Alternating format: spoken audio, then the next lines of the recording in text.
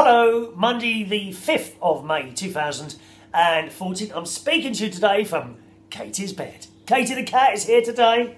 Come on, Katie, darling, stay in one place and we can all see you. The viewers like to see Katie, don't you? Say something.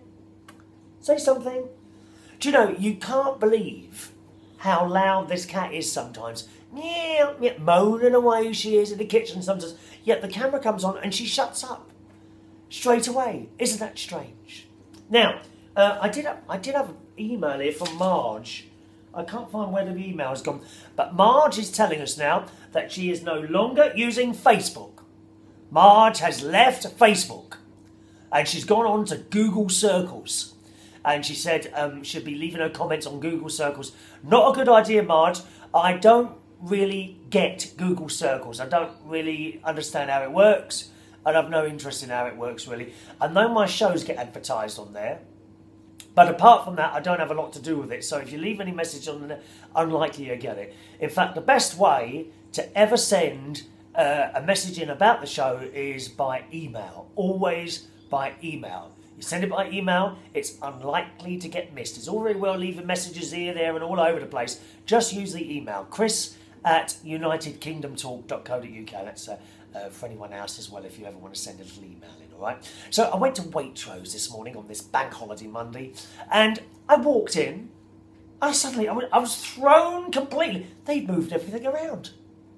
The front desk has been moved from the middle to the left, and they now have a dry cleaning section. I thought, how marvellous.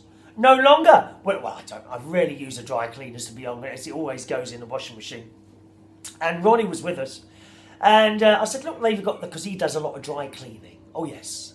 Everything goes to the dry cleaners. So he takes it in there, usually into town. Well, he hasn't got to do that anymore. He just, just does it in, in Waitrose. So I, I handed in this bit of paper. I said, what are the prices like? He said, oh, that's not bad. £6 for a jumper. And I said, £6?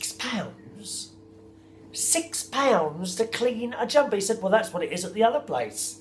I said, you must be having a laugh. And then I remembered, unfortunately, that I've given one of my jumpers to him to take to the dry cleaners, uh, uh, which is already done.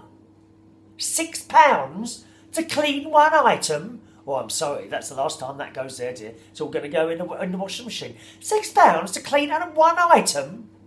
I don't understand. Anyway, so they've moved that desk to there, and they've changed the scanning where you scan your shopping to over there, and you collect your scanner from. It was very, very confusing, dear. You know, I was all of a flutter while I was in there. And I was a bit naughty. I have been a bit naughty today, boys and girls. I don't intend this to happen very often, right? As you know, I made a lifestyle change, okay? Bread, cakes, potatoes, all gone, right? But I've decided to have the occasional one. And they had, in Waitrose, brand new, Cadbury's chocolate cream egg biscuits. I thought, oh, I'll just try, try, try a little packet those. So I've bought a packet home. Oh my God. They are to die for. Cadbury's chocolate cream egg. Oh, put your claws away, darling, that's hurting. Cadbury's cream egg biscuits. Would you like one, Katie? Perhaps not. Have a nice evening. See you tomorrow. This programme has not been sponsored by Cadbury's Cream Egg Biscuits.